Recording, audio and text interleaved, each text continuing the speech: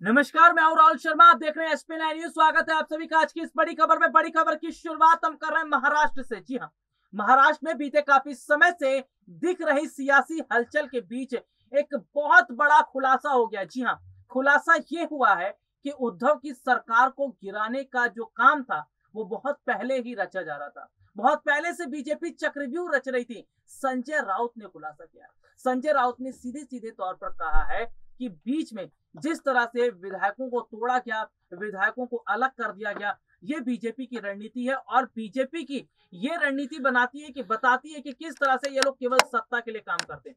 हालाँकि इन सब के बीच ये देखा जा रहा है कि संजय राउत की मुश्किलें बढ़ रही हैं। संजय राउत का अगला स्टैंड किसकी तरफ़ रहेगा? वो उद्धव ठाकरे के साथ ही जुड़े रहेंगे या बीजेपी के साथ हाथ मिला दरअसल देखा जा रहा है कि बीते काफ़ी समय से संजय राउत मोदी सरकार के खिलाफ बात कर रहे हैं। मोदी सरकार के खिलाफ जहर उगल रहे थे। इसके साथ ही किरेट सोमाया हो, या तमाम और बड़े नेता, उनको लेकर भी इस तरह की वो बात कर रहे थे, जिससे बीजेपी बहुत ज़्यादा खफा थी।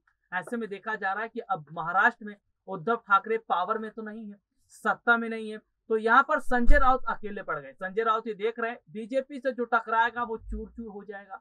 और ऐसे में क्या संजय राउत मौके की नजाकत को देखते हुए बीजेपी से हाथ मिला सकते हैं? और अगर बीजेपी से हाथ नहीं मिलाएँगे तो क्या संजय राउत को जेल जाना पड़ेगा? तो ऐसे तमाम सवाल हैं जो फ़िलहाल दिखते नज़र आ रहे हैं, क्योंकि बीजेपी लगातार ईडी का शिकंजा कसी हुई है। जी हाँ बीजेपी जो है वो लगातार ईडी के ज़रिए नेताओं पर जो शिकंजा कस रही है, उनको धरपकड़ करती नज़र आ रही है। और अगर ईडी का शिकंजा संजय राउत पर कसता है तो संजय राउत की कितनी मुश्किलें बढ़नी होगी, ये आगे तय करेंगे।